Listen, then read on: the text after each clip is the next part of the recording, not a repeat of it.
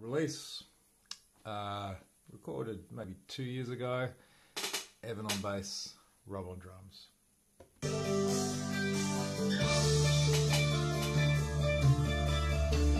We're about midway through.